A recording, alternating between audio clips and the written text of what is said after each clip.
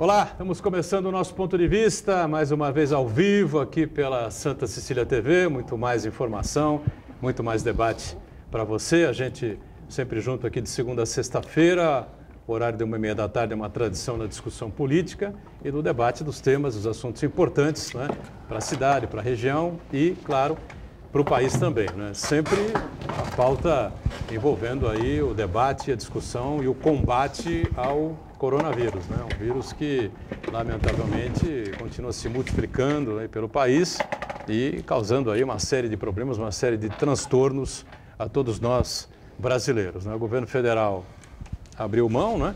Desde que o ministro Mandetta foi demitido, né? foi exonerado pelo presidente da República, estava fazendo muito sucesso, na verdade estava fazendo o trabalho correto. Né? Uma grande articulação nacional com os governadores, com os secretários estaduais, com os secretários municipais, claro, das principais capitais eh, do país, como São Paulo, Rio de Janeiro, Curitiba, Salvador, enfim, né? para que houvesse um, um, mínimo de organização nacional em eh, relação ao combate ao vírus. Né? Isso foi jogado às traças, né?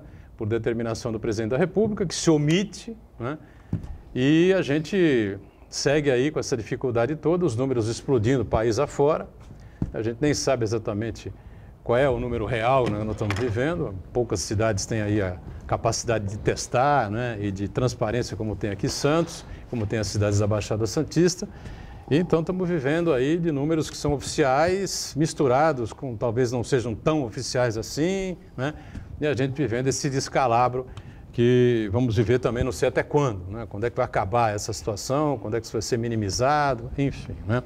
Estamos vivendo agora um momento de é, abertura, reabertura da economia. Hoje, abertura, não, reabertura, claro, das praias aqui da cidade de Santos. Né? O prefeito definiu isso ontem, né? E, claro, as pessoas podem, podem correr, podem fazer uma caminhada, né? podem surfar, atividades individuais. Né? Não pode usar barraquinha, não pode é, os ambulantes não podem ir lá vender suco, refrigerante, pipoca, cerveja, enfim, né? seja lá o que for. Né? Não dá ainda para ter o comércio que a gente estava acostumado. Enfim, muitos assuntos importantes, né? E a dúvida que ficou no ar, né? Desde a, o questionamento da jornalista André Sadi, do Grupo Globo, no último sábado, ao advogado Frederic Wassef, né? É um nome imponente, né? sem dúvida nenhuma. Afinal, o Queiroz pulou o muro, sem ninguém ver. O Queiroz chegou voando né, à casa de Atibaia. Ou alguém colocou ele lá? Né? Sei lá, né? Que dúvida, né? Eu acho que o, o, que o Queiroz chegou voando. Eu acho. Num tapete mágico, tá certo? E ele foi descendo lentamente, tá certo? E aterrizou na casa do advogado lá de Atibaia. E quando o pessoal chegava na casa, ele como Harry Potter, né? Tinha aquele o manto que o mantinha invisível, né? Ninguém sabia que ele estava lá. Só a polícia que descobriu, foi assim um acaso, né? Claro. Né? Lembrando que segunda a quinta-feira a reprise do ponto de vista é às 8 da noite. Na sexta-feira a reprise é às 20 horas.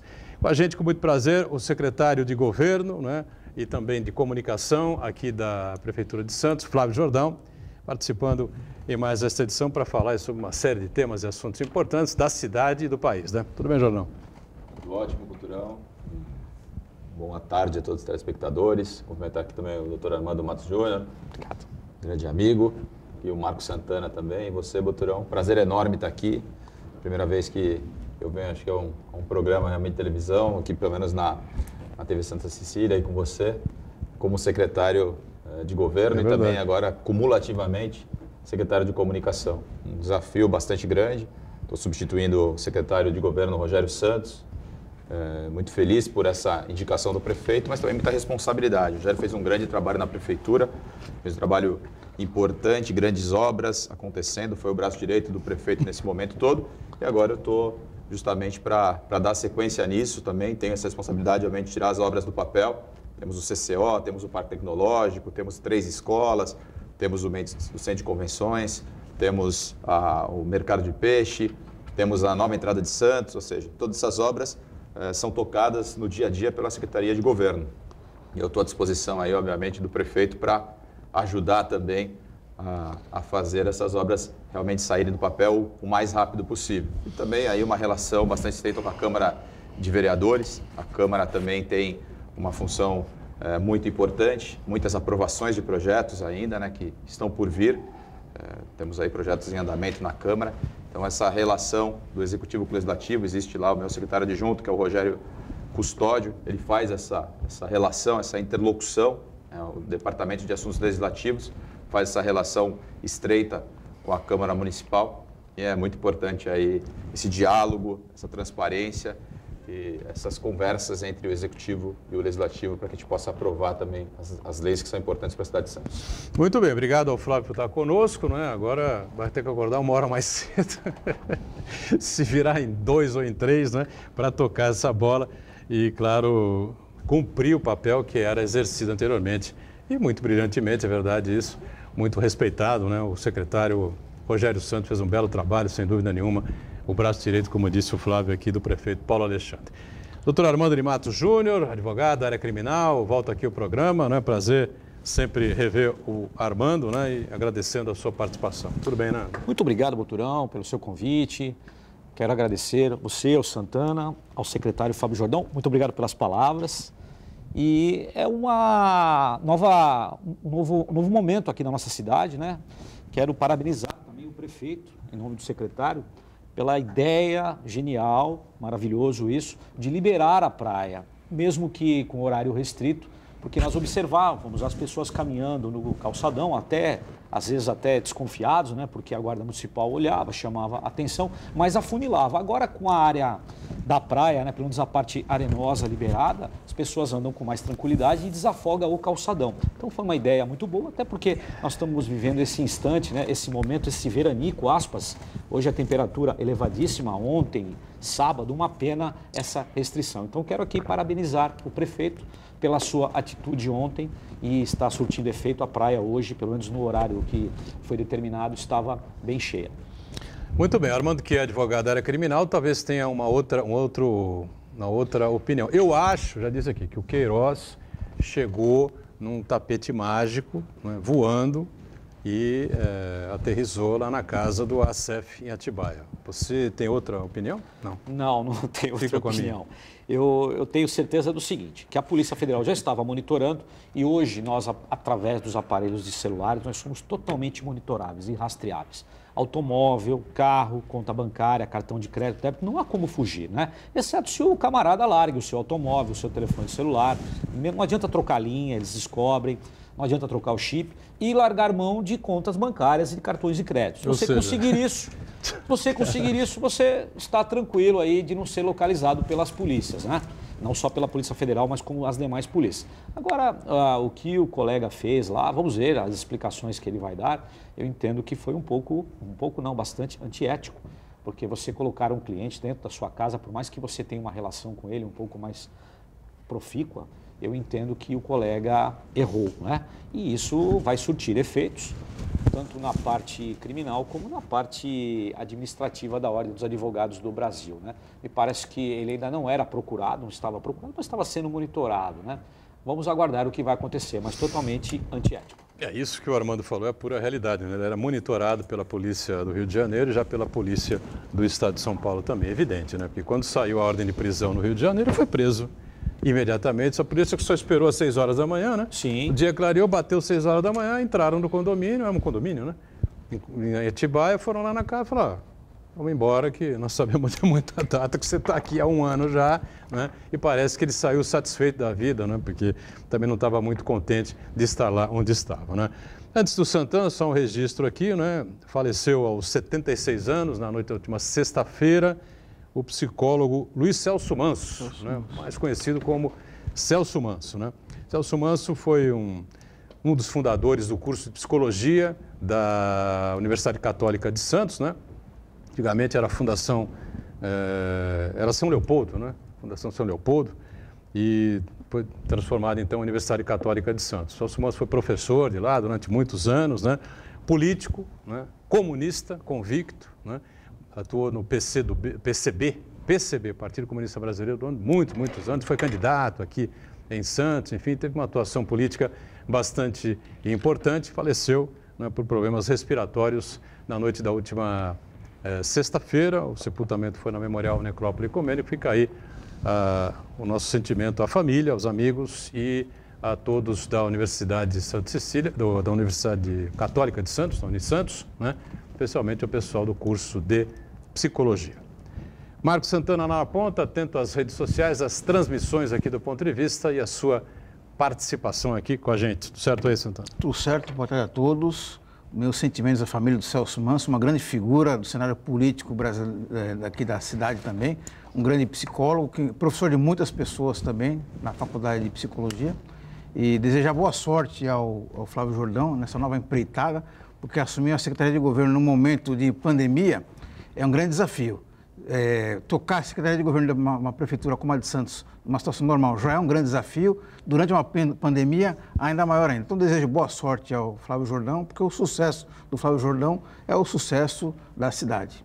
E Edgar Butrão, a OAB vê, avalia como o, o fundo do poço esse novo episódio envolvendo o Queiroz e, a, e o clã Bolsonaro e já designou um grupo para internamente preparar um pedido de impeachment do presidente Jair Bolsonaro. É, Somam-se. Esse, é o 45 É, esse talvez. vai se somar. Aos, eu perdi a conta nos 38. Tem mais de 40 já. Pedidos feitos pelo parlamento. Eu perdi a conta, né? São tantos, né? Eu já perdi a conta dos pedidos de impeachment. e agora, já, né? uma entidade como a OAB já é, é, começa a protagonizar esse processo, é uma situação muito delicada para Jair Bolsonaro. Eu quero cumprimentar você que nos acompanha ao vivo, convidar você a participar também do programa, mandando sua pergunta, crítica, sugestão pelo Facebook. Ponto de vista com Edgar Butrão ou então por e-mail, contato arroba pontodevista.tv.br. O programa também pode ser acompanhado ao vivo pela internet, santaportal.com.br/tv. As edições anteriores do Ponto de Vista ficam disponíveis na internet também, no nosso canal no YouTube e na nossa página no Facebook. E você que nos acompanha a reprise às 20 horas, uma boa noite. Boa noite para você que está sempre na reprise conosco. Né? Lembrando, o programa ao vivo acaba às 14h30, né? 12h30 da tarde, até a reprise. Meu amigo, nem Deus às vezes entende, nem sabe, até ele duvida do que pode acontecer na combalida e caótica República Brasileira dos últimos tempos. Eu, eu sinceramente, espero mais nada, né? Não tem ministro da Saúde, agora não tem ministro da Educação. O ministro, o ex-ministro da, da, Educação fugiu, né? Fugiu, arquitetou um plano para fugir para os Estados Unidos. E ele só foi exonerado oficialmente, né? Só apareceu lá no Diário Oficial da União, depois que ele confirmou que estava em Miami. Né? Portanto, ele fugiu do Brasil com aval e com a ajuda do presidente da República. Ou seja, é o fim da picada, entendeu? Tem fim a picada, não? Se você me permitir, Botura, ontem no estado de São Paulo, o doutor Walter Flagnero Mairovitch, que é um especialista em direito criminal, em facções criminosas, em máfia, de direito, uma pessoa extremamente capaz, ele falando, usou até um trocadilho, falando que o, o, o ex-ministro da Educação deu um chapéu Uh, nos ministros do STF, falando que os ministros do STF aqui, uh, eles não usam chapéu, né? Lá na Europa, alguns países usam chapéu que é o capelo, e aqui usam toga. Então ele deu um chapéu nos ministros, né? Porque realmente, né? realmente ele arquitetou isso rapidamente. Ele foi ouvido na Polícia Federal, quedou-se inerte, ou seja, não falou nada, mas a Polícia Federal não solicitou, não requisitou o seu passaporte. Então, entende que ele tinha entrada e saída livre do país e é, outros países. Passaporte diplomático, né? Passaporte diplomático. Então, Chegou não então foi nos Estados Unidos como ministro da Educação como do Brasil. ministro. Pô. Chegou lá, tapete vermelho, carro, etc. Brincadeira, não é assim, né? mas tem entrada é, livre. Até porque nós temos restrições hoje nos Estados Unidos de brasileiros para lá. Né? Vocês, vocês, sabem, estamos nessa situação e, per, e, vai perdurar não sei até quando, e de lá para cá a mesma coisa. E o Walter Fragner Mairovitch tira esse sarro, né, usar assim o português claro, falando que o ministro deu um chapéu nos ministros do STF. Foi a expressão Mas que ele se utilizou. o Supremo determinar, ou se a polícia, a justiça brasileira determinar a prisão dele, ele vai, pode ser preso lá mesmo. E aí vai depender do governo norte-americano, há tratado de, de extradição, para saber se eles vão cumprir. Né? Aí é uma outra, é uma outra questão. Mas há tratado entre Brasil e Estados Unidos. Se Bom, isso acontecer, pode ser que não aconteça. Né? Como sempre a gente faz aqui, o Flávio Jordão, no começo do programa, a relação aqui dos casos de coronavírus, 7.709 não é, casos aqui em Santos, 297 óbitos, 18.521 casos na Baixada Santista, né? 817 óbitos. Então, a todos os familiares, como sempre a gente faz aqui, né? os sentimentos da gente aqui, meus e todo o time do ponto de vista, aquelas pessoas que perderam seus parentes, pais, mães, filhos, netos, tios, avós, enfim, né? E nosso, nossa lamentação, né? Pelas perdas dessas vidas, que muitas delas podiam ter sido evitadas, né? 219.185 casos no estado de São Paulo, 12.588 óbitos, 1.086.990 casos no Brasil, 50.659 óbitos, repito, claro, os números são de ontem à noite, né? Neste momento os números já são diferentes, né? e à noite, se você estiver na represa, então, muito, muitos outros números, muitos números vão ser somados a esse, lamentavelmente, e muito disso por culpa é? da não atuação, enfim, da omissão do governo federal e especialmente do presidente da República, que bateu de frente, fez tudo, não é? Para tirar o ministro Mandetta no momento em que ele estava organizando a situação eh, no país. Porque aqui os prefeitos fizeram tudo o que era possível, né, Jornal? É, vem fazendo, né, Buturão? A gente, esse trabalho é um trabalho muito complexo, difícil, né? O Marco colocou, é, a Secretaria de, de, Governo acaba também articulando aí toda essa, essa linha de frente aí com todas as secretarias. Não é uma, uma ação específica da Secretaria de Saúde, por exemplo. Você tem a Guarda Municipal que atua numa ponta na fiscalização, você tem aí a questão econômica, né? a Secretaria de Finanças estudando aí formas de também poder ajudar, e tem a Secretaria de Saúde fazendo um grande trabalho. Santos é uma das cidades, se eu posso até dizer que talvez seja a que mais é, testou no Brasil, por muitos testes, então o trabalho tem sido feito. É, são aí 60 mil testes, isso aí é muito mais que por muitos países. Então o trabalho está sendo bem feito, está sendo feito de forma séria, organizada. Tivemos 300 mortes aqui, relação de mortes é, por testes muito pequeno. Então, trabalho com, eu, eu entendo que está sendo muito bem direcionado.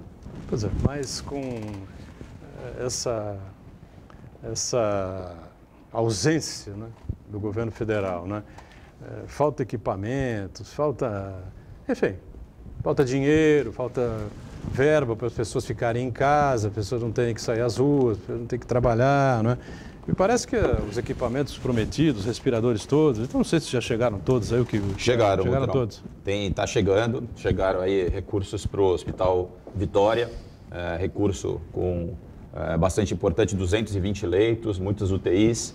É, esse o trabalho está sendo feito. Como falei, ah, os respiradores também estão chegando. Chegaram essa semana mais 15 respiradores. Chegaram também para o Guilherme Álvaro, que também é do Estado. Ou seja, o, o trabalho está sendo feito, está tendo apoio do governo estadual principalmente. O governo federal também mandou recurso no início, não tem mandado, a gente tem buscado também recurso de outros, de outras, de outros entes. Uh, mas o governo federal não tem pouco, mandado? Não, sim, pouco, pouco recurso, né? Não tem, veio no início, o, o ministro Mandetta mandou, uh, no início do, da, da, da, gestão dele, lá quando ele estava iniciando os trabalhos, e agora a gente tem conseguido mais recursos do governo do Estado.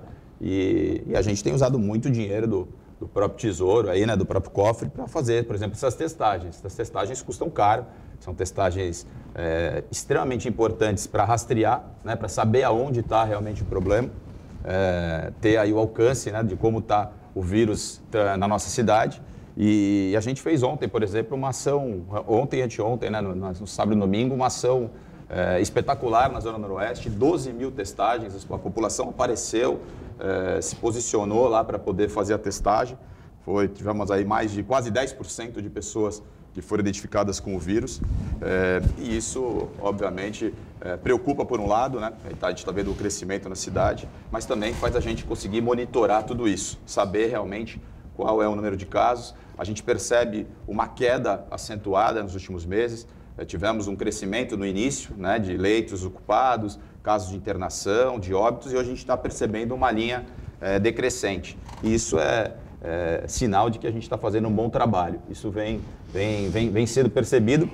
Os óbitos, né, as pessoas acabam vendo o, a estatística acaba assustando, mas são mortes de 40 dias atrás, por exemplo. Então, é, as últimas ser... semanas ela vem sendo é, diminuída semana a semana, mas o que a gente tem que estar tá mais preocupado não é a questão dos óbitos só, é, mas sim as, as, a quantidade de internações e a quantidade é, de leitos de UTI, de UTI ocupados. Esse é o grande ponto. Se você tiver uma queda nesse sentido de uma semana para outra, no Plano São Paulo, do governo do estado, a, o estudo que eles fazem, as, as, janelas epidemiológicas que eles trabalham são essas duas. É, eles pegam os últimos sete dias e comparam com os outros sete anteriores e veem se a pandemia vem diminuindo. Essa é, é, é a equação que eles acabam fazendo em cima de vários pontos, né? em cima do número de, de leitos ocupados, em cima do número de óbitos, em cima do número de casos confirmados, em cima é, do número de internações, de, de, leitos por 100 mil habitantes, são cinco pontos, e é feita uma equação, uma fórmula e sai num resultado. Hoje nós estamos na bandeira laranja, com viés de amarelo, provavelmente a gente vai alcançar o amarelo,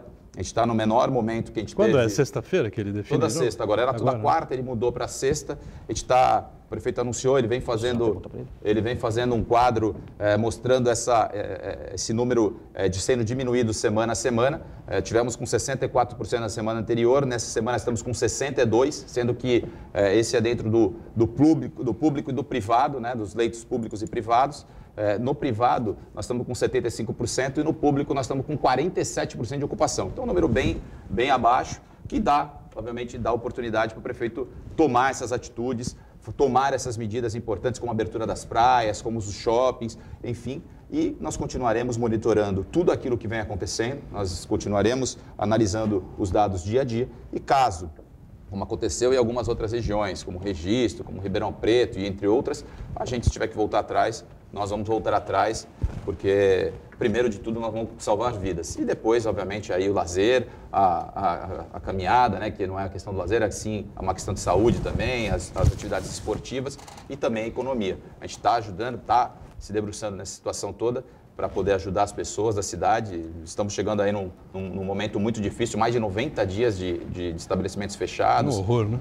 É muito difícil, a gente sabe disso. Eu tenho recebido, até como secretário de governo, recebi várias categorias. Recebi os quiosqueiros de praia, por exemplo, que estão parados aí, não conseguem trabalhar. Os ambulantes de rua, por exemplo, os ambulantes de praia. Quer dizer, são categorias que realmente estão passando muita dificuldade. A gente tem ajudado naquilo que pode, por exemplo, com cestas básicas, com é, estudando aí alguns incentivos, até alguns programas de transferência de renda direcionados para esse, esses públicos, é, para pessoas que realmente estão hoje sem condição de buscar o seu recurso, mas a gente tem que fazer isso de forma gradual. Não adianta querer abrir tudo, achar que a pandemia acabou. Esse é o nosso, é o nosso trabalho e eu só tenho aqui também a parabenizar. Acho que o prefeito está conduzindo muito bem essa situação, está sendo firme, está se preocupando com a saúde, está se preocupando com a parte econômica e está conseguindo equilibrar isso tudo. Eu acho que o equilíbrio é que vai fazer a gente sair mais rápido da situação toda.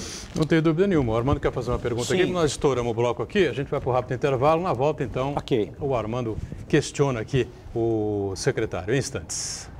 Muito bem, sequência do ponto de vista com o secretário de governo aqui de Santos conosco, Flávio Jordão, ele que acumula também a comunicação, Armando de Mato Júnior e o Marcos Santana, atento aí às redes sociais, algumas perguntas chegando, a gente já já abre espaço. O Armando queria fazer aqui um, um questionamento ao secretário. Sim, na verdade são dois, né?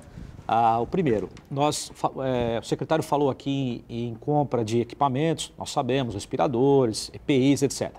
Isso nós encomendamos de outros países ou a, a nosso próprio pátio industrial consegue fabricar aqui no país. E o profissional da saúde?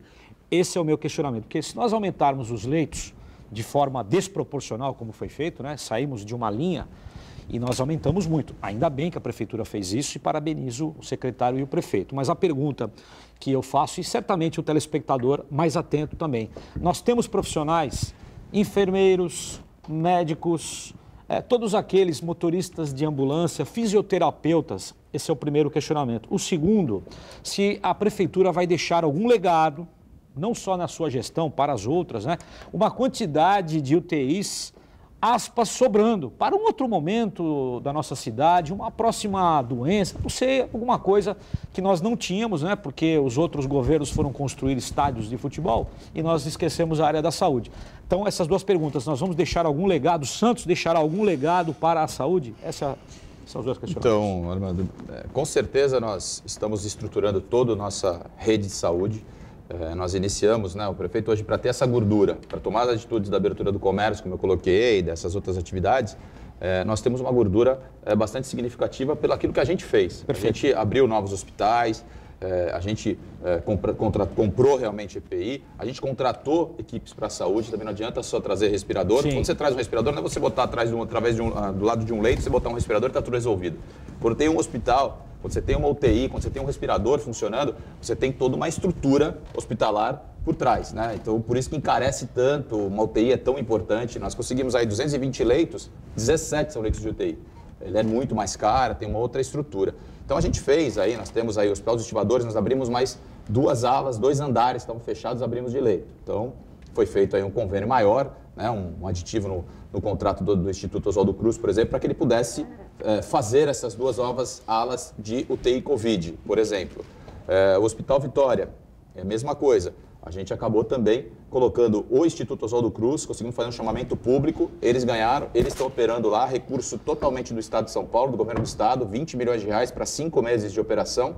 A gente vai fazer, a, a ideia é que a gente possa, depois da sequência também, mas nesse período de pandemia, eles ficam.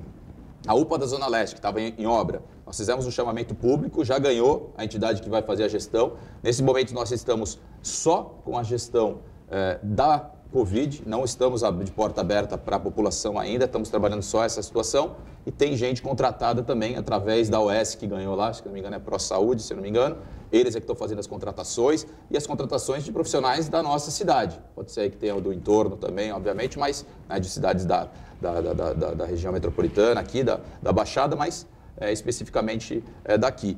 E com relação ao legado, com certeza nós vamos deixar um legado. Né? A gente é, optou, o prefeito optou por fazer estruturas prontas e próprias do que montar ginásios de futebol, por exemplo, com estrutura hospitalar. É, a gente viu em São Paulo, o Paquembu foi feito, Praia Grande também fez alguns, o Guarujá também fez, a gente não quis fazer. Ah, aquilo ali, ele monta, está dentro do ginásio, vai ser desmontado e vai embora. O nosso não. O nosso, essas leitos de UTI vão poder ficar para a cidade. Esse foi a, o formato que nós encontramos, entendemos que era o melhor naquele momento, justamente para que a gente pudesse dar continuidade com tudo isso. Sabemos que é, você manter uma estrutura hospitalar é muito cara, né? Você tem um, aí uma, um, vai dispor de um recurso muito grande mensalmente, ainda mais num tempo de crise né, que nós vamos viver daqui para frente, é, mas é necessário, é importante que tenha. Então, acredito que o prefeito realmente tomou a melhor atitude em utilizar as estruturas que nós já tínhamos do que criar estruturas novas e, no meu entendimento, de forma precária. Ok.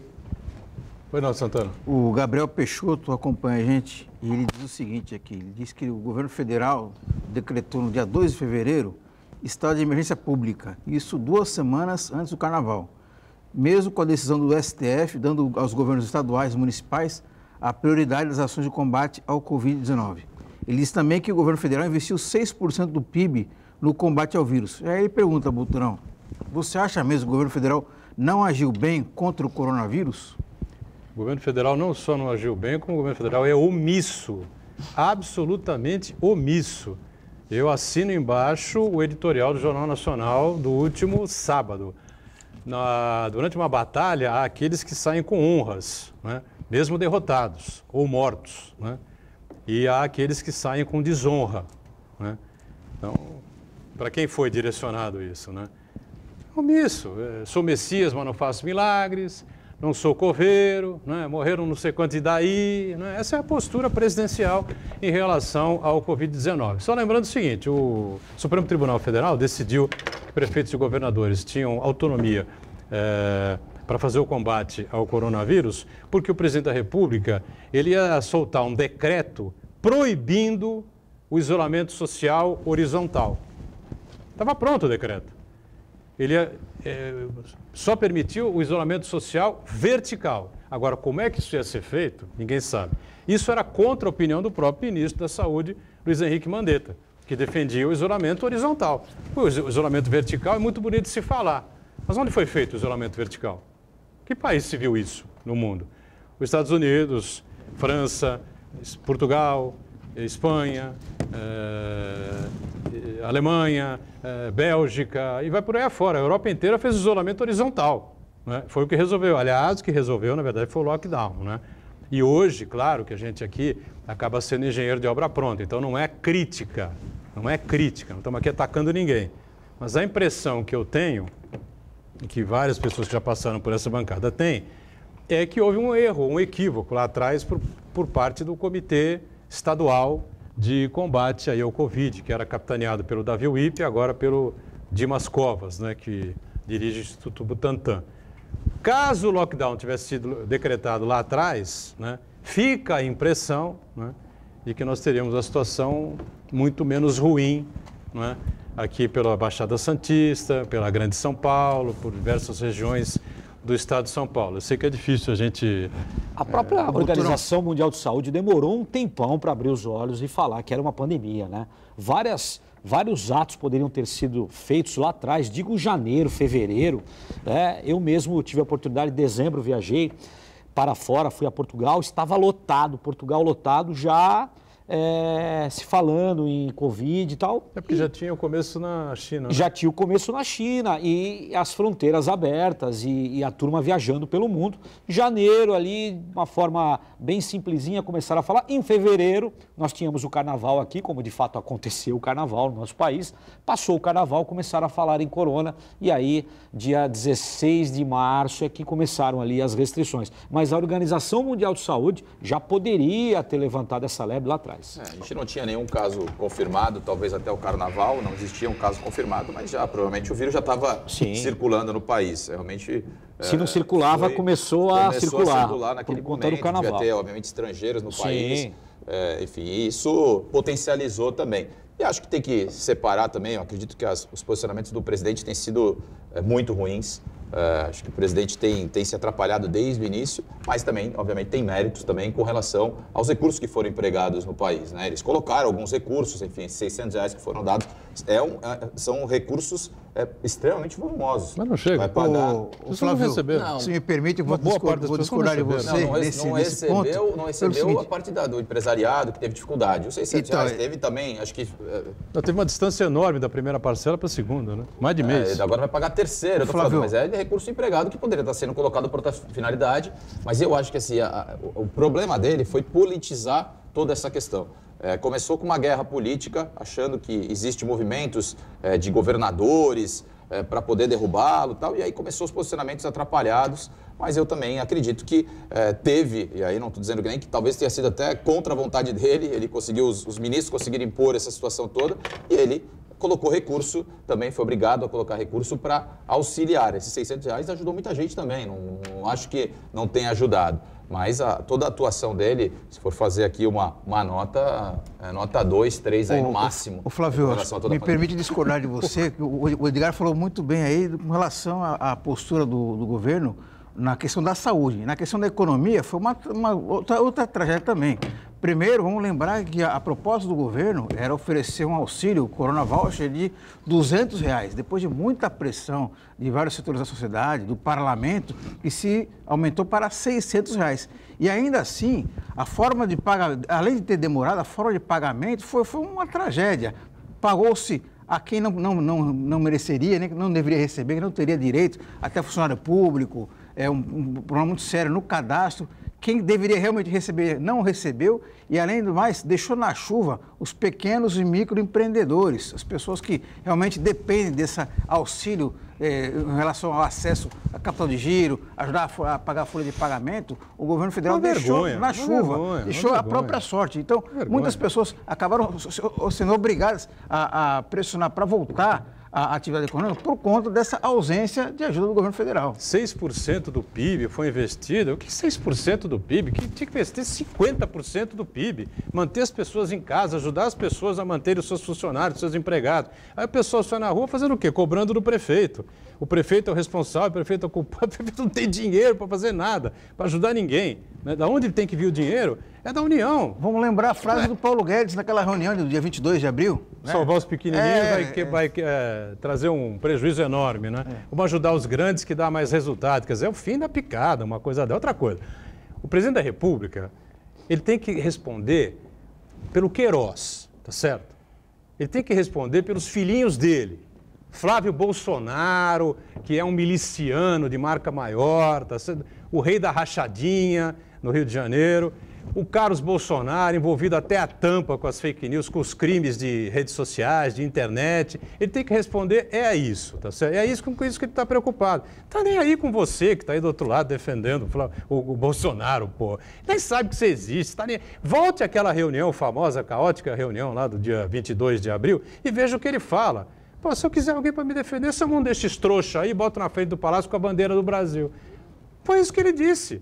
Chama um desses trouxas qualquer aí para botar na frente do palácio com a bandeira do Brasil. É isso que o Bolsonaro se refere aos seus apoiadores. Ué, eu espero que você que está mandando essa mensagem aí pense um pouco melhor, né? E não seja um desses trouxas que vá para frente do Palácio da Alvorada com a bandeira do Brasil, né? Dito pelo próprio presidente. Meu Deus do céu. Flávio Jordão, vamos reabrir os shoppings ou não? Vamos reabrir na quarta-feira. É, Confirmado? Estamos... Confirmado, é. Na verdade, a gente está hoje no shopping com a equipe da Vigilância Sanitária. Estamos fazendo lá uma, uma verificação aí dos protocolos. Foi, foi feito reuniões aí com todos os shoppings, com lojistas, justamente para apresentar uma proposta de abertura. Tem uma série aí de, de medidas que tem que ser tomadas, de protocolos sanitários, para que caso hoje seja aprovado é, por esse comitê que está discutindo toda essa situação, foi assinado por eles aceitando, hoje nós vamos ver se eles estão prontos para abrir a partir de quarta-feira. Se tiver tudo ok, todos os, os, os, itens lá que foram definidos e que foram assinados por todos eles, sem nenhum tipo de questionamento, estiver pronto, quarta-feira a gente é, reabre os shoppings com uma carga horária pequena, de 4 horas, das 13 às 19 mas pelo menos 13 às 19? 15 às 19, 15 desculpa, 19. as 4 horas diárias que foi, são obrigadas, é, e que vai trazer uma isso esperança... Isso é uma determinação pro, pro do Estado, é isso? Da... É, na verdade, o, STF determinou que prefeitos e governadores definiam toda essa situação. É, mas... O governo do estado, na verdade, é, ele determina e o, o município pode ser mais restritivo que o estado. Secretário, mas isso não é pior? Porque nós não estamos afunilando a quantidade de pessoas que, por algum é, motivo, é, precisam estranho, entrar no shopping para comprar algo, né? Então, você tem aquele horário de trabalho e tal. Se o critério é péssimo. O critério, é... nesse sentido, é péssimo. a gente tem falado, nós fizemos aqui é, eles falam que a gente tem que ser mais restritivo, não pode ser mais permissivo. Nós somos mais permissivos, mas com uma, com uma estrutura muito clara. Pô, vamos trabalhar seis horas com menos dias, a carga horária era a mesma. Nós colocamos seis horas durante cinco dias, ao invés de sete dias com quatro horas. Dava 30 horas o nosso, 28 a deles mas você diluía isso durante toda a semana. Ou seja, as pessoas não iam é, todas elas de uma vez só para o transporte público, por exemplo. Nós colocamos argumentos suficientes e racionais para poder convencer. O Estado pegou, ele está se baseando especificamente no que o Estado determina. E com isso, voltamos atrás é, por conta dos salões de beleza, que foi outra briga, outra discussão que nós tivemos. Entendíamos também que os salões de beleza estão funcionando, estão indo na casa das pessoas, estão Sim. de porta fechada, Sim. mas atendendo. As pessoas estão cortando cabelo, estão fazendo unha, estão aí fazendo esse tipo de situação. E a gente entendia que com o protocolo, com hora marcada, com uma é estrutura melhor, melhor, era muito mais inteligente. Claro. Então, essa, essa regra que está sendo imposta, que tem que seguir aquilo que o Estado fala, quem pode saber melhor o que está acontecendo é o município. O município tem condição de fazer esse termômetro. Claro. E aí a fiscalização é feita pela gente, ou seja, então a gente tem condição de, de determinar. Mas nós somos votos vencidos, um desembargador, uh, semana passada entrou com, com, uma, com uma DIN, na verdade, uh, suspendendo tudo. A gente, por uma estratégia, paralelamente, revogamos aquele, aquele decreto, nos adequamos ao decreto do Estado, né, ao Plano São Paulo, e aí mudamos, e aí tornamos nulo aquela decisão que ele tinha feito anteriormente, o desembargador, e ele até acatou, porque ele tinha, tinha vários erros na, na decisão dele. Ele se equivocou quando colocou a gente na bandeira vermelha, é, ele se equivocou como disse que a gente era a grande São Paulo, ou seja, tinham erros crassos assim que é, fez a gente também entrar com embargo de declaração para que ele se explicasse né, no, no, na decisão. Mas, ao mesmo tempo, nós achamos que para a pandemia se demorar um mês para ele, ele é, é, rever a, situação, a, a, decisão dele, talvez a pandemia já estivesse numa outra, num outro estágio, numa outra condição. Então, muita coisa que a gente também está prevendo, aumento da carga horária, é, a abertura de salões de beleza, de outros estabelecimentos, na bandeira amarela nós já podemos fazer isso. E nós estamos muito perto da bandeira amarela para esse monitoramento que a gente e tem feito. E as escolas, secretário, alguma Alguma luz aí? Eu acho que isso é a parte Vamos fazer mais... o seguinte, a gente estourou o bloco mais uma vez aqui, estamos em cima do, do segundo intervalo. Vamos para o break já já o nosso Flávio Jordão aqui começa o próximo bloco respondendo sobre as escolas, questão aqui do importante, né, questão levantada pelo Armando. Já já. Muito bem, voltamos, sequência do ponto de vista, preocupação com a volta às aulas aqui, né? O Armando de Matos queria levantar esse tema aí com o Flávio Jordão, né? Sim, é, entendo que é uma preocupação daquelas pessoas que têm filhos matriculados nas escolas municipais, estaduais também, mas a, o Estado foge completamente do questionamento ao secretário, mas ao município sim. Não sei se o secretário teria essas informações para os telespectadores. Um grande dilema, né? Porque a gente, quando a gente fala de, de volta ao trabalho, a gente está falando também de, de ter as nossas crianças, nossos filhos numa escola, né? Você não consegue. Eu, por exemplo, minha, minha filha está em casa, eu tenho uma filha de 5 anos, ela está em casa praticamente todos os dias. A minha mulher trabalha, eu trabalho. É, em muitos momentos nós tivemos que. Eu levei ela para a prefeitura um dia até. Eu não tive, não tive como, não tinha como fazer. Não quero levar nos meus pais, não quero levar no meu sogro, na minha sogra. São idosos, ou seja, pode causar algum tipo de problema. E aí a gente tem que acabar se virando. E isso não dá certo. Quer dizer, você não consegue, você não consegue trabalhar tendo que, que levar uma criança junto. Então a escola é necessário que abra justamente para que a gente não deixe as crianças é, nos avós. Mas é, eu entendo que é uma das últimas etapas, é, não tem previsão ainda, não está nenhum plano que está sendo feito. O Dória tinha falado, até o governador tinha falado de, de abertura, talvez voltasse em julho. Isso já está já está decidido que não vai ser. As aulas, né? É, as aulas. Vai voltar mais para frente, será com uma capacidade pequena. É, a gente conversa, tem grupo de mães aí, né? Minha mulher tem o grupo das, das mães dos alunos lá, tá? E falam que a maioria das pessoas não querem voltar também com as crianças para a escola nesse momento. Então, é, vai ficar para um dos últimos estágios aí, últimas, últimas etapas. E isso vai comprometer muito a vida das pessoas. As pessoas precisam trabalhar, precisam deixar as crianças na creche. Hoje pela manhã, o prefeito fez uma reunião algumas escolas aí de, de berçário, de creche particulares. Né? Houve um pedido da, da Câmara Municipal até para que a gente pudesse fazer essa, essa reunião. Participou o presidente da Câmara, Rui de Rosses, participou o prefeito também, e várias escolas eh, da cidade de, de, de, berçário e de infantil, eh, justamente para poder ter uma, uma, um alento aí, né? ou então trazer também alguma sugestão de abertura, de volta gradual. O, a escola onde minha filha trabalha, por exemplo, já está, não tinham dado desconto, já estão falando em desconto agora. É, talvez percebendo que talvez tão cedo não se volte é, às atividades. Física, né? E Física. não haveria uma possibilidade de, de se acordar aí com os, os, comerciantes, com os empresários, de maneira geral, né? Uma maneira de manter os empregos das mulheres, mães, né? E que tenham necessidade de deixar seus filhos em creches ou escolas públicas, enfim, e que não tem essa possibilidade, né? Porque se a pessoa começar a demitir as mães, né?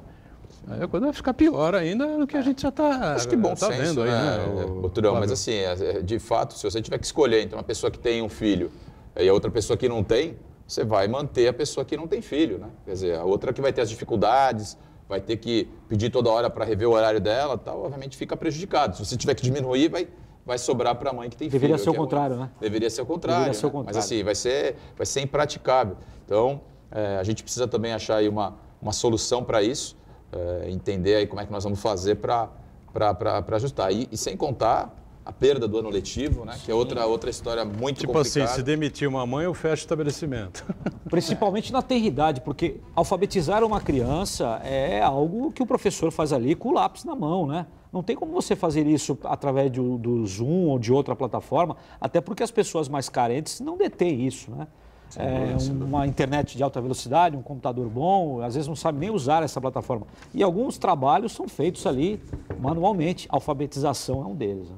Diga, Santana. O, o, secretário, eu falei várias vezes aqui no ponto de vista, também escrevi no Jornal da Hora, de que não adianta nada o governo do Estado, as prefeituras é, colocarem restrições, bandeira amarela, vermelha, abóbora, azul, a cor que seja, se a população não fizer a sua parte e conscientemente aderir à importância, né, desse, de se conscientizar da importância do isolamento social. Né? Ontem à noite, o prefeito liberou parcialmente o acesso às praias, mas uma coisa que a gente percebia que a população já vinha fazendo isso, as pessoas já iam passear com o cachorro, correr, caminhar na praia, na areia da areia e assim por diante, né? Então, acho que nesse momento é fundamental é, é, a estratégia de comunicação, como fazer essa, essa, essa, essa conscientização da, da população por intermédio da comunicação. É uma, uma tarefa muito difícil, né? A gente tem falado muito sobre isso, né? Acho que é a responsabilidade de todos nós. Aqui não tem. O prefeito fez a parte dele, é, parte estrutural da saúde. É, aí está orientando as pessoas para que tenham também esses cuidados. Acho que o Santista ele é, teve uma ação bem diferente do que nós vimos em cidades vizinhas. É, tomou aí a, a, acho que teve mais responsabilidade. Isso eu falo do comerciante, falo do próprio munícipe, da prefeitura, dos fiscais da prefeitura. Então está acontecendo, Marco. Mas a gente vai entrar com uma campanha agora, em breve a gente entra com essa campanha, justamente para falar sobre isso. Né? Agora que a gente está abrindo mais coisas, nós precisamos falar. Nós temos que ter consciência de que nós, se não fizermos a lição de casa, se não usar máscara. Ontem estava vendo um monte de gente na cidade sem máscara, um monte. Tinha, não tem guarda uma, duas ou três pessoas mundo, que você viu né? pontualmente. Muita gente sem máscara. Isso é o, é o, básico do básico. Você tem que utilizar máscara. Tem multa. Estamos fazendo uma fiscalização hoje intensa na praia com a guarda municipal, justamente para. E as pessoas muitas vezes acham que estão se enganando. Usa a máscara no bolso, aí a guarda aborda, não tá, tá, tá sem no, máscara, aí coloca. No queixo. Aí para não ser multado. Usa a máscara você, no você queixo. Tá, você, não tá, você não está enganando a guarda, você está se enganando, você está passando essa, essa doença para outras pessoas. Então, é fundamental que a gente faça é, essa divisão de responsabilidade. A responsabilidade é da população também. Não adianta só cobrar o poder público. As pessoas sabem cobrar o poder público. Ah, não tem fiscalização, não tem isso. As pessoas, um tem que fiscalizar o outro. Um tem que chegar para o outro e apontar, dizendo: você tem que usar máscara. Você não pode estar sem máscara. Você está botando todo mundo aqui em risco. Quer dizer, e essa falta de conscientização a gente ainda, ainda percebe um pouco, mas acho que o Santista tem respondido muito bem. Mas nós vamos forçar isso agora da, com relação às aberturas que nós fizemos. Nós temos um risco muito grande de voltar, como aconteceu, citei aqui, Ribeirão Preto voltou, Araçatuba voltou, Registro voltou, a região da, do Vale do Ribeira voltou, justamente porque começaram a sair de forma desenfreada, acharam que a pandemia acabou, tiveram retrocesso, aumentaram aí a capacidade hospitalar quase no limite, tiveram que voltar atrás. Os Estados Unidos já está prevendo a volta agora nos próximos dias, As uma pessoas... segunda onda. Então, é um absurdo, né? E assim, é. quem vai ser prejudicado nessa história toda? É o empresário. O empresário vai ter que fechar as portas de novo. O cara se, se estrutura totalmente, volta funcionário, compra material, estoque e tal. De repente tem que fechar novamente porque a cor da bandeira voltou. Então, peço aqui que as pessoas tenham essa responsabilidade de dividir isso com a prefeitura e também cobrar a população na rua que faça a sua parte também. É, e aí realmente se vê uma segunda onda, né, a tendência é que seja catastrófica né, para a economia do país. Né? Amanhã vamos ter aqui o Marcos Caseiro de novo, né, para conversar conosco a respeito de toda essa situação, né, fazer um balanço aí dessa testagem toda que é feita não só em Santos, mas em toda a Baixada Santista, ele que é o coordenador né, de todo esse, esse processo e da possibilidade de quem já teve o Covid, né, três meses após estar curado, ter aí uma queda na sua, na sua imunidade, no que não seria suficiente para ter o Covid de novo, né, para estar mais, novamente aí eh, exposto ao, a uma segunda onda. Parece que não, mas tem uma queda aí na imunidade em relação ao não é imunidade é, do organismo como um todo, é imunidade em relação aos anticorpos criados por quem já teve o, o vírus. No meu caso, por exemplo, já tive, você cria anticorpos, enfim, mas três meses depois, estou chegando lá. Não, três é... meses depois pode ser que a imunidade já, já baixe pela metade. Doutor, cada hora um pânico na gente, né, nas pessoas. Não, cada hora você é, descobre uma coisa essa nova. Essa aí é uma nova. É. Essa semana eu estava lendo, tem um estudo que fala que o pessoal, as pessoas que têm a sangue A, o meu é, por exemplo, sou A negativo. Eu sou positivo. É, tem um risco maior. Um risco maior. É, as doenças mais graves são nos, nos, portadores de sangue, enfim, nas pessoas que têm o sangue A. Então você fica apavorado. Seja, então cada hora vem vindo uma notícia nova, é, deixando todo mundo muito preocupado, em pânico. As pessoas estão em pânico. Vezes a gente pensa que ah, não, as pessoas querem que acabe com o confinamento, querem ir para a rua, as pessoas estão muito preocupadas ainda. Mas eu acho que nós precisamos filtrar o que nós observamos pela internet. Há muita bobagem também, né? Esse pânico todo, a quantidade de informações que são geradas diariamente, para o bem e para o mal, né? Então, quando vocês souberem de alguma coisa, vamos buscar mais a fundo, acho que é o, todo mundo no Porque eram estudos, eram isso, estudos, né? estudo europeu, aí tinham feito um estudo é, conceituado, não era um estudo. Eu estou falando, é, é, isso mexe muito com a cabeça das pessoas, né? Tá todo mundo muito apavorado. Essa história de que droga, pode agora né? pegar de novo, é, você causa mais uma mais um movimento muito complicado. E a gente tem aí, não é só a doença do Covid, né? Você tem outras situações, você tem a depressão, Sim. você tem. Né, o, as pessoas estão ansiosas, apavoradas. Mas ninguém aguenta mais ficar com essa história do isolamento, né? Não, isso aguenta ninguém aguenta mais. O esgotamento né? do isolamento chegou, né? Ninguém está aguentando. Por mais. isso, por isso fica aqui a dúvida, né? Era preciso a gente conversar aí com Dimas Covas, né? Com o secretário de Estado, da Saúde, enfim e escuta, erraram ou não erraram? Se erraram, tem que vir a público e falar, erramos, erramos. Realmente, hoje a gente tem que admitir que há dois meses e pouco atrás devíamos ter feito um lockdown. Fechado a Grande São Paulo, a Baixada Santista por 20 dias, 25 dias, sei lá, né, qualquer coisa assim, e hoje estaríamos numa situação melhor. Agora, os prefeitos vão decretar lockdown, isso não tem o menor cabimento. Adianta o prefeito de Santos, São Vicente, Cubatão, Guarujá, para decretar o lockdown, se o cara vem descendo a serra, o outro. Não tem como. Isso teria que partir do governo do Estado. Eu entendo, pelo tudo que, tô, que a gente está vendo aí, pelo que aconteceu nos outros países, né, que o lockdown talvez fosse uma solução é, mais efetiva. Ô, Flávio Jordão, você falou no começo aí é, do mercado de peixe, está pronto, né? Mas acho que o prefeito não, não vai inaugurar nessa situação, né? Quer inaugurar em breve, sim, Butrão. Estamos finalizando aí, tem, ainda tem algumas situações para serem finalizadas, parte de câmeras, de monitoramento, enfim, tem algumas outras coisas, mas já estamos entrando agora numa fase de, de mudança aí dos, dos permissionários do, do, do, novo mercado. Nós temos que começar à frente também do, do, novo centro de convenções, onde vai ser a praça né, da entrada. O centro de convenções também está num ritmo muito acelerado. Então, em breve, aí nós faremos essa, essa mudança. Tanto começou efetivamente, até o Rogério Santos falou isso com muita propriedade, né, na semana passada aqui conosco. É um equipamento, provavelmente, talvez, talvez possa ser utilizado a partir de 21, né, porque como é que você vai fazer? A, a entrega dele, enfim, né? a entrega dele é agora de em setembro, né? A previsão era para julho, teve por conta de toda a pandemia atrasou um pouco, mas está em ritmo muito acelerado. Eu passei lá semana passada, está com outra cara, já está com a estrutura metálica toda pronta. É, em setembro agora entrega. E vai ser muito, muito importante para a cidade também, nesse pós-pandemia. Eu acho que, obviamente, que vai potencializar ele de fato, vai ter aí uma em, no ano que vem só, realmente. É, acho que acho porque... 21 vai ser o momento o ápice dele. E agora, em 2020, ainda dá para. Aí a ideia é fazer um chamamento público, colocar alguém aí para para poder operar esse, esse equipamento público. É, vai ser feito nos próximos dias uma licitação para ver quem vai assumir e se, se pegar uma empresa grande, grande porte, uma empresa multinacional aí que possa trazer bons eventos para Santos. É, e vai, obviamente, mexer também com o nosso comércio local, né? Vai mexer com a rede hoteleira, mexe com restaurantes, mexe com aí as pessoas que trabalham na cidade, né? Você tem uma cadeia muito grande envolvendo eventos. E Qual é a capacidade dele? Então, ele, vai, ele, tem, ele tem uma capacidade para 7 mil pessoas no, no, no, no embaixo. É, o, o, outro pavilhão, onde vai ser o auditório, enfim, para 5 mil pessoas, é um, ele é de. Não é, ele não é o maior do Brasil. Ele Mas é, é de, maior que o Mendes Convention, né? É maior que o Mendes Convention, ele é um pouco maior que o Mendes Convention, mais ou menos com a mesma estrutura, mas com algumas outras vantagens, o estacionamento coberto, o ar-condicionado. É, mas tem uma, uma empresa, até essa empresa estava fez algumas consultas, ou seja, tem empresas que pegaram imigrantes, pegou o de Salvador, por exemplo, foi entregue também no começo desse ano. Se uma empresa desse porte pega, ganha uma licitação e pega um equipamento desse, ele fica com, alguns, com algumas uh, possibilidades de, enca de encaixar eventos específicos para a gente muito grande e do mundo inteiro, né? multinacional. Então, é, tem que ser, no meu entendimento, tem que ser alguém desse nível é, para ganhar uma licitação dessa, para a gente poder potencializar isso. Diga, Santana.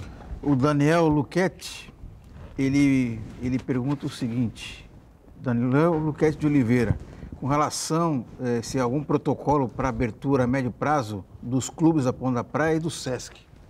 Tem sim, o prefeito também conversou é, recentemente. Acho que o, o, clube ele vai, ser, ele vai voltar, ele tem condição de voltar de forma escalonada. Você não vai abrir o clube inteiro, está aberto, você pode fazer o que você quiser, evento, festa, não. Você vai voltando com atividades individualizadas, tem esportes individuais, né? E isso, isso já está sendo é, discutido justamente com os presidentes de clube. O prefeito já teve, o secretário de esportes, Gelásio Fernandes, também teve com eles, justamente para isso. Nessa fase laranja não poderia, né? Ou já não poderia, poderia não, não, poderia. Amarela não, talvez? Amarela, amarela pode, amarela mas a gente vai fazer. E nós estamos tendo um aqui, nós estamos seguindo aí essa questão da, da, da, das permissões que o Estado está falando, mas nós estamos tratando caso a caso. O, o shopping podia ser no, no, no laranja. A gente, não, é, a gente não fez. A gente quis fazer só agora, entendeu que agora sim é o momento adequado para isso. O hotel, por exemplo, estava tá, atrás, era no, no, no, no, branco, que era o, o, essencial, no vermelho lá, que é o do Estado, né? É, a gente poderia ter aberto, não quis abrir. Também entendia, porque por ser aí é, uma atividade para turismo, que pudesse trazer muito turista para cá. Então a gente foi é, analisando item por item, estamos abrindo diálogo com todo mundo, estamos conversando com todas as categorias, eles estão procurando também, obviamente, estão indo atrás é, para poder é, apresentar ideias, né? Porque aí também é interessante isso, né? Por exemplo, a rede hoteleira está falando, tem muita gente que vem para cá a trabalho. Sim. E muitas vezes perde a oportunidade de vir para cá, vai ficar onde? Não tem onde ficar, tem que ficar numa cidade vizinha. Então, é, para moradia, para atividades corporativas, pode vir. Não adianta a pessoa vir para cá para poder vir para passar uns dias aqui para fazer turismo. Isso a gente não está permitindo, não temos nada contra o turista, queremos o turista aqui sempre, mas nesse momento o turista aqui não é bem-vindo, é, com todo o respeito do mundo, queremos você em outro momento, mas nesse momento aqui não é para isso. Muito bem, só registrar que o prefeito de Santos, o Paulo Alexandre Barbosa, vai dar uma coletiva hoje às 18 horas, né, Sim, secretário? Nada. Lá no viaduto da nova entrada de Santos, o viaduto está quase pronto, né? Sim, sim, ele está tá praticamente pronto. É, finaliza agora, está previsto para agosto, mas ele pode até ser antecipado alguns dias aí para julho. Ficou pronta também agora a iluminação. Então o prefeito vai hoje lá, vai ter um tá, tá muito bonito, está com várias cores, enfim, ele fica, ele é todo colorido é, com uma iluminação de LED diferenciada, diferente. E é um, uma obra de arte mesmo, é um viaduto muito legal que vai, vai, vai fazer a diferença também para o Santista aqui. Né? E além disso, acho que o mais importante é a parte da drenagem, entrada da cidade, quantos problemas nós tivemos. Isso tudo está previsto no projeto. Então, que são aí algumas etapas. Né? Essa é a primeira etapa que se, que se entrega agora, né? a, entrada, é a entrega do viaduto em curva, o viaduto que vem da Martins Fontes para Nossa Senhora de Fátima. Essa é a parte que será entregue. Mas a gente vai ter ainda. Elimina ali o semáforo, né? Elimina que o semáforo. É muito importante, né? Ah, sim, Por conta é da segurança, é, né? Sem dúvida Somente quem vai e volta à noite, é um muito terror cedo. para todos nós. Sim. Uma obra que as pessoas esperavam há mais de 50 anos. Então, Armando, Armando Limato, só para fechar, temos aí alguns segundos para encerrar o programa, né? Esse caso todo que envolve aí a família Bolsonaro, a presidência da República, o filho do presidente, o Flávio Bolsonaro. que falta aí para o Flávio Bolsonaro é, enfim, responder judicialmente ou levar um checkmate da justiça? Depende da nossa justiça. Tenho certeza que já estão articulados e fazendo isso. A investigação continua, prossegue. Agora vamos ver se de fato, se carecer realmente da prisão, se terão ali vontade de efetuá-la, né? Porque aí nós geraríamos exatamente o que nós não queremos, que é esse problema entre o Poder Judiciário e a presidência. Nós observamos nos jornais de grande circulação no final de semana falando que um dos ministros do STF procurou a caserna para tentar conversar, chegar ali a um entendimento e os militares foram muito econômicos em suas palavras, ficaram quietos, ficaram silentes. Então isso é, eu entendi que eles falaram, olha, nós não estamos apoiando totalmente o que o presidente está fazendo, os atos dele, os atos dele são deles. Então, acho que eu já consegui responder a sua pergunta aí de uma forma transversa. É, eu Eliane, acredito que Eliane, virá chumbo grosso de lá. A Eliane Cantanhede publicou na sexta-feira no Estadão né, o seu artigo, dizendo que, na verdade, há uma movimentação forte né, entre os militares da ativa Sim. Né, e que já existe também uma conversa entre os militares que estão no governo né, para o afastamento do presidente Jair Bolsonaro. Mourão, que é o vice, o general Mourão, assumiria o governo, né? Não seria renúncia, seria um não, afastamento. Não seria renúncia, seria um afastamento, porque não se vê mais condições de governabilidade, né? não se vê mais chance alguma do presidente seguir à frente do país, com tantas e tantas e tantas denúncias envolvendo os seus filhos, né? E é ele mesmo, né? diretamente, porque ele é o polo que gera, é, irradia aí os três filhos Flávio no Senado, o Eduardo na Câmara e o outro no o Carluxo, famoso Carluxo, né? na Câmara do Rio de Janeiro. Vamos aguardar. Infelizmente, eu falei aqui na semana passada, a Dilma Rousseff ficou um ano e meio lutando para não cair, caiu. Michel Temer ficou lutando um ano e meio para não cair, não caiu. E agora nós vamos ver a mesma coisa e o país completamente parado. Flávio Jordão, sucesso, obrigado mais uma vez por estar conosco, valeu. Obrigado ao nosso Armando Rimatos, presença sempre importante, Santana convite. sempre conosco, uma e meia da tarde é o nosso horário de segunda a sexta-feira aqui no Ponto de Vista, não é? Pela Santa Cecília TV, a reprise de segunda a quinta é às oito da noite e às sextas-feiras à meia-noite. Valeu, gente. Obrigado. Tchau.